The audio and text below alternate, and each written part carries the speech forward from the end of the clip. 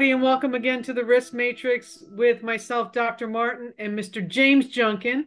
James Junkin got a great guest, personal friend, Dr. Simon Goncharenko is in the house. You're in the Matrix, baby. But we'll get to you in a moment.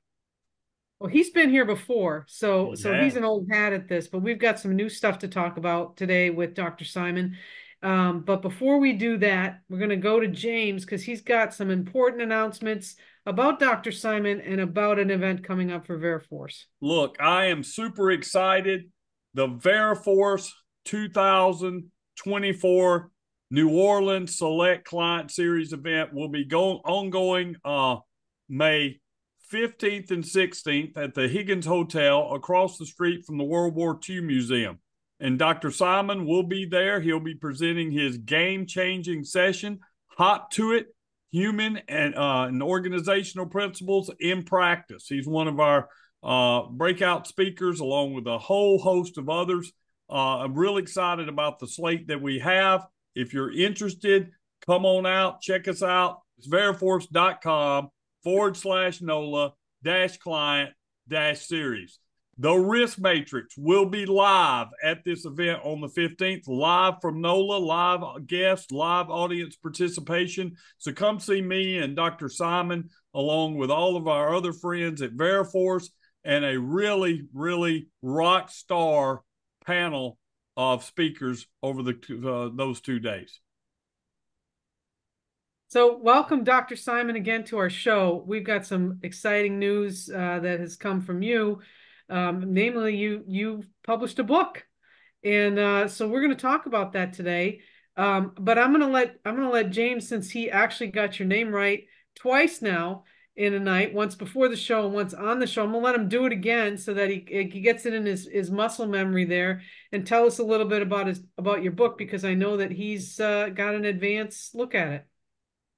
Yeah, man. Welcome, as we said earlier, to the Risk Matrix, Dr. Simon Goncharenko, which is good for a dude from Alabama to be able to spit that out. That's an accomplishment. My mother would be proud. Uh, Simon serves with uh, Dr. Martin and myself on the Veriforce Strategic Advisory Board, known Dr. Simon for many, many years. He currently is a safety specialist in data center construction, a good friend, and now author, author of a book named Save Lives Pushing Boundaries in Human Factors. And we're Dr. Martin and I are super fans of, of human organizational performance, human factors. It's a it's really a an area that that I, I'm extremely interested in, always learning. And tell us about your book. What prompted you, Dr. Simon, to write this book? Oh, I appreciate it. Thank you so much for having me, and thank you for allowing me to share a little bit. I am obviously super pumped about it um, and uh, super pumped about the part that uh, you guys actually played in it coming about. And believe it or not, uh, I was going to look up the actual chapter number. Uh, I'll be able to uh, probably tell you here in a little bit, but there's actually one of the chapters here that starts with uh, you guys, both of you, by your names and the risk matrix. So it's in here in the book. and but what what kind of prompted or started the the whole process. You know, a few years back, uh, probably about, I don't know, seven, eight years ago, I got intrigued with this whole area of human and organizational performance, human factors, and and uh, been doing a lot of research and uh, have been doing a little bit of training as well.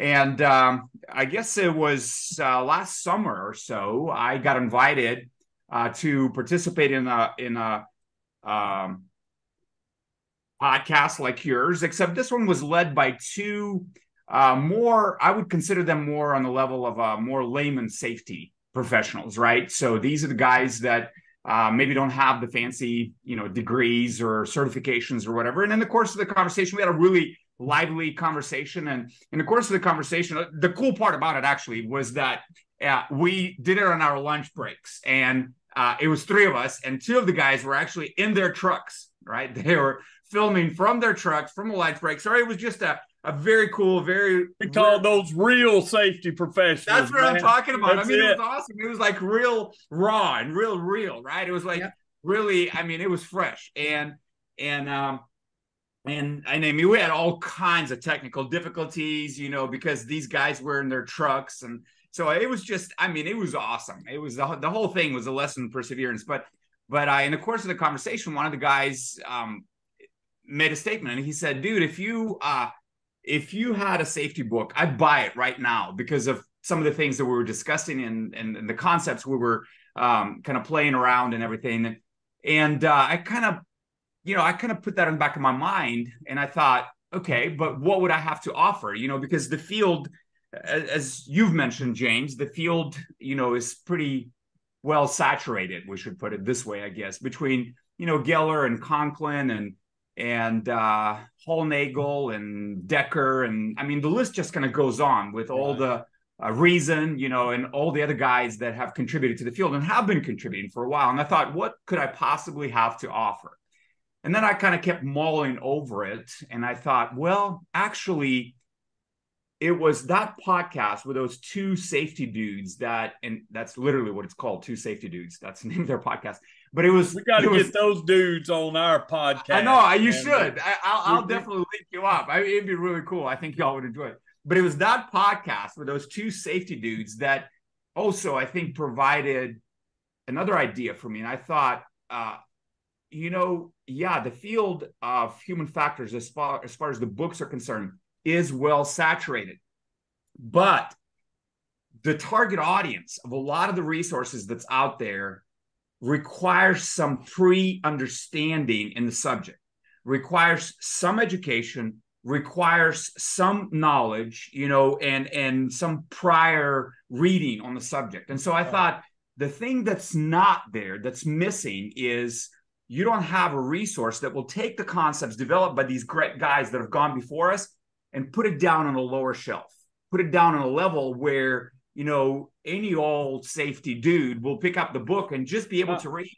I am so glad you said that. You know, that's been my sort of criticism with theory all along, you know, whether it's ISO 45001, Z10, safety one, safety two, all this stuff that goes around all the time that in this in, that you see in a lot of academic circles and frankly in non-academic circles when we get to conferences. Mm-hmm. you know this is conference season coming up. Every conference is going to have somebody out there talking about some of these topics but man my big question's always been hey that's great but help me implement this in a company with 150 people when I am struggling just to get some of these guys to wear PPE and have a basic JSA. And you've kind of solved for that, Dr. Martin. Uh, that that's just uh, uh, the understanding piece, Simon, but the application piece. That's what's missing. How do I apply this? Stop telling me about the theory. Stop stop saying we're going to have this summit on safety one safe versus safety two and we're going to see who wins and and duke it out on the big stage. I don't care. If if I'm a safety dude or safety gal or whatever, I want to know make it make it the short version. What does it mean? Yeah. And how do I apply it? Give me yeah. some real world examples of how it's going to work. Because if it's not going to work, if it's just all kind of this this heady stuff that we talk about on the stage, stage, I don't have time for it. I don't have time for it as as somebody with a doctorate. If I can't use it, I'm not putting it in my toolbox to carry around. I'm not doing it. Yeah. No, I'm 100% agree with that, and that's why. Like, it was funny because after I finished my book, I I um I went to my bookshelf and I picked up uh Conklin's pre-accident investigation book or whatever, and I I compared the lengths, and the lengths look very similar, but I'll hit in eight, eight or nine chapters, and you know you guys have read a lot of books. The average chapter length is about twenty to thirty pages, and that's exactly what Conklin did in his book, which is absolutely you know normal for a PhD. My book has like twenty four chapters, and some of these chapters are literally like four pages long because I'm not about putting out a dissertation. I'm about, you know, giving you the summary of an idea and then giving you some ways that that can be implemented and just then le- letting you and that's the other thing that i'm trying to you know we live in an information age where we have so much information available at our fingertips and yet we live in an age where that my kids ages and and some of the other younger people we they they do not know how to do research. Or either either they don't know how to do it or they refuse to do it. And so it's a really interesting paradox. We have the most information available and yet we're the most uninformed generations that are coming out right now. And so that's the other thing i'm trying to maybe contribute towards right with this book is i've given some ideas and i'm telling people hey you're interested in this more? Go google it. Mm-hmm. Mm-hmm. Well, so, so sometimes I, I, think in our information age, there's there's there's such a thing as there's just so much. There's yeah. so much, and that's right? overwhelming. That yeah. it becomes overwhelming. In order to just Google it, you want somebody to just just tell it to me straight, Doctor yeah. Simon. What is this about? How do I apply it, and how do I get to the crux of the matter? Because I think that we've taught our young people uh, that yeah you can go to the internet and you can find anything but is it going to be true and is it going to be right? Yeah. and, oh, and, oh, absolutely. And, um you know again i love a good theory just like the next person but but if if i got to carry it around and it's got no utility i'm not going to do it. Just not. Well, well we all flat earth is a theory but that doesn't mean it's true right? Yeah. And so and, dr martin likes to say on her show uh, on this show she she she's it just depends. That's her phrase word mine mine of course uh you know you know what mine is, but it just depends. And so when we look at your book, I am captured by the, and we're going to show it on Amazon and where where you can purchase it. But the title, "Save Lives," save lives. How did you come up with that title? Well, it's interesting that you would ask that question because, believe it or not, you actually were one of the individuals that was in the back of my mind. You got in my mind, James. I don't know how I'm just kidding. But... sounds terrible. That sounds it sounds awful. sounds Somehow okay. you got it's a nightmare. He's going to need therapy. but anyway, no. But I think I, uh, literally, as I and it's interesting that you asked that question because I actually dive into that subject in the very beginning in the introductory matter of the book because the the first that was one of the first questions after I've kind of resolved in my mind what the book is going to be about and kind of what the target audience is going to be, and so that that led me think, okay, maybe there is a need for it. The immediate next question in my mind was, okay, what am I going to call it? And and some people think, well, why is that a big deal? The the my dissertation that I ended up publishing, I actually submitted to the to the uh, traditional publisher several years back, and they helped me to come up with the title. So I didn't even know what the title was going to be. But this one, I had to know. And so I kind of started thinking through different things. And and and then I think your like your picture and your words that you continue to remind us in our meetings and conversations that we have about your passion to bring workers home safely from high hazard environments that was kind of going through my mind. And I thought I know. The title has to be save lives because I think they're in no small part you know safety professionals are if you think about about ultimately saving lives. But i think it goes but i think you know that's outside or or it goes beyond just the scope of a safety professional. I think anyone that works whether it's you know hr or operations or any other role they should care about that too. We all right. should be safety professionals right? Because mm-hmm. that's that's the mature organization. That's that's how it operates. And so uh, incidentally, the funny thing about it, James, is when I kind of finally settled, yeah, it's going to be save lives. Uh, my LinkedIn banner had actually said that for like three or four months prior to that. It's just a black background with the word save lives on it. Weird. I don't even know how that like all came together, but it just, and when I landed it, I was like, of course it has to be that. Divine. It, it's been on my banner. yeah. That's awesome. Now, there's a second part of this title, which I really like as a safety outlaw pushing boundaries in human factors. So, we always like to be innovative. We like to challenge the status quo. We like to look at these trends and say, how can we get better? How does your book push boundaries? Well, I think, and that's, and that's, that's another good point, another good question, because that brings me to um, I think the second thing uh, that's different, and and by the way, um, in the introduction to the to or one of the early chapters, I actually talk about how this book is not like other human factors or safety books. And I give, you know, five things that makes it unique. One is scope, two is target audience. I've already mentioned that, method, style, and author.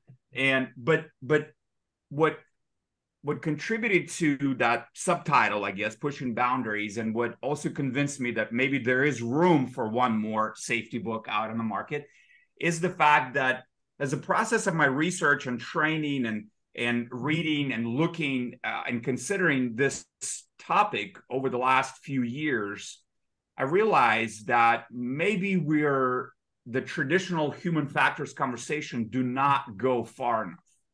I think it's more than just proper design of machinery. I think it's more than just ergonomics. I think it's more than just the initial factors. I think, you know, I, I think it should the, the the I think it should include our off the job activities. And people go, well, how dare you talk about off the job activities? My employer doesn't own my off the job time. And that's true. But I have one body. So when I trash it out on the weekend, when I drink and party and do all that stuff and I get three hours of sleep, how am I expecting myself to be with it enough on Monday morning or to be effective or efficient or accurate or reliable or even safe or mm-hmm. engaged, you know, and the list can kind of kind of continue. So so that's I think what contributed to that second subtitle is that, you know, I tease and ask questions and suggest topics that go way beyond gratitude. I mean, we gratitude is way outside of the realm of safety, right? We don't ever talk about gratitude. Yet, if you talk to the psychologists, they will tell you the tremendous impact that gratitude has on your overall well being. So, does it have a place? So, these are the kinds of things that I'm just kind of teasing a little bit uh, in my attempt to push boundaries. I need a I need a copy, Dr. Simon. So I'm going to have to order it from you though, because I'm going to want it signed. Um, I, I want to correct you. Uh, th- there is always room for one more safety book. Okay. However, I'm going to go back to my original assertion in that the safety books that need to be coming out now have to be applied. Okay. Again, we can talk about theories. We can write another book. Dekker can write another book on his thing. Conklin can write another book on his thing. Unless I can't put it to use, it means nothing to me.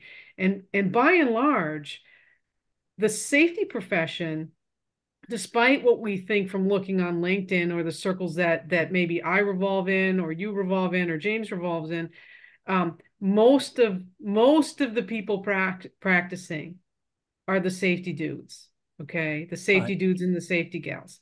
And so so while they may go to a conference or not or not and they hear the basics of this this debate on this or that the other thing really honestly they're there to get points. They're there to maybe uh, network or or drink some beer or do whatever with their colleagues.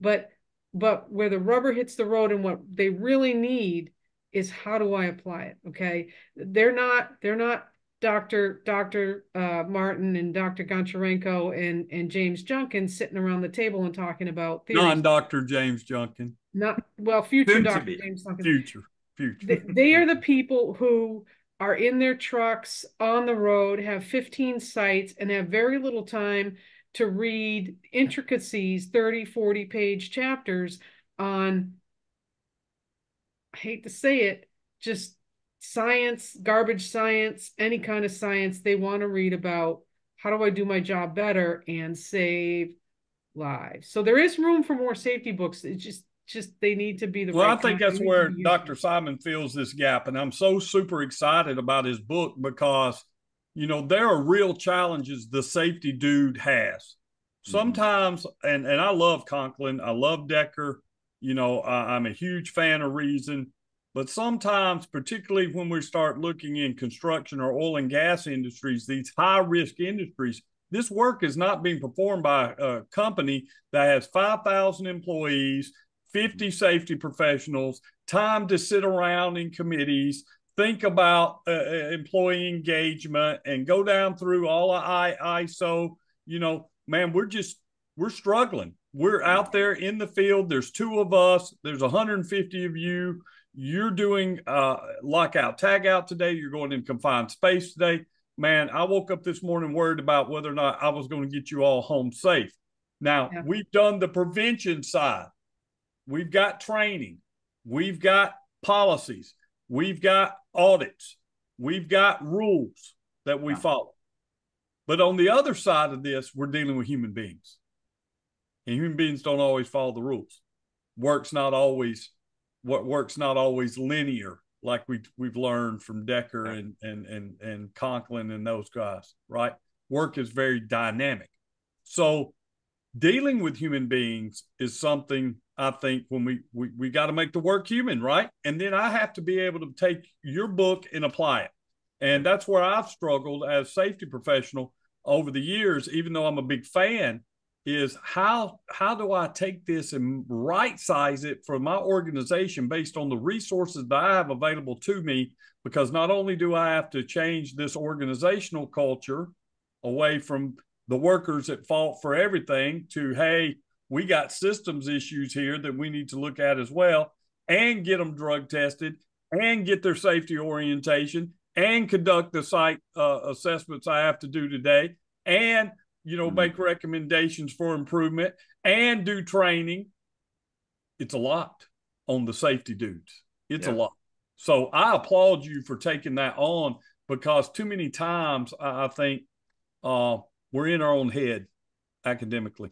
We're in our head and we forgot what it was like to put on a pair of steel toe boots and go out and have a JSA meeting at 645 in the morning.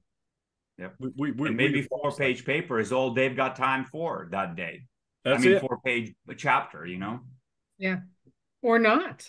Or not, yeah, right? True. Maybe they got they maybe they got time for the list. Yeah. And and so that uh, that's why I'm kind of a big fan of of the applied approach and yeah. and I, I I can't wait to I can't can't wait to dig in. So and you know it's funny too James because um you started the podcast today with kind of talking about the NOLA event uh, the exciting thing, what, what kind of gets me excited and jazzed up about that uh, particular event too, is that um, when you when you and I first talked about it, I actually sat down one afternoon after our conversation and I put my book down and I thought, okay, what are some specific pointed questions I can ask? Because that's what I'm going to do. Is rather than theorizing, I'm just going to ask questions. These are the practical implications of what we're talking about. And man, I started writing them down, James, and one page went down, second page went down. After the fifth page, I was like, I think I've got enough questions. we got enough for our 45 minute session. It's the second next book. year for part two. Case, there you case, go. Case studies to Dr. Simon's book, right? right. Right.